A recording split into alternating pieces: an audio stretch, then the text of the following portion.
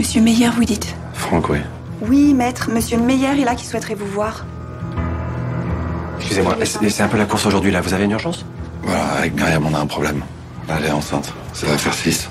Ils vont faire quoi du coup? Elle va avorter? On voudrait le donner.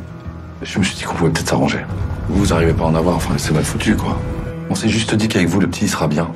Vous savez ce que vous me proposez là? Ça s'appelle du trafic d'êtres humains.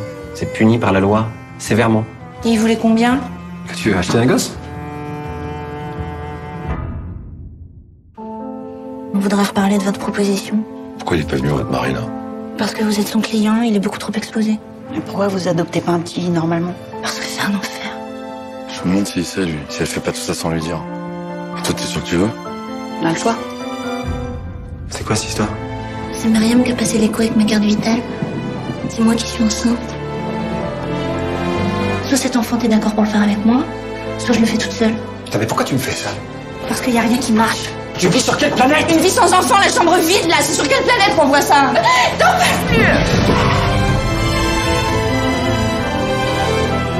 On va aller brûler en enfer. Non.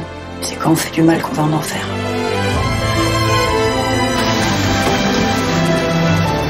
Il y a aucune raison que personne sache quoi que ce soit. Anna?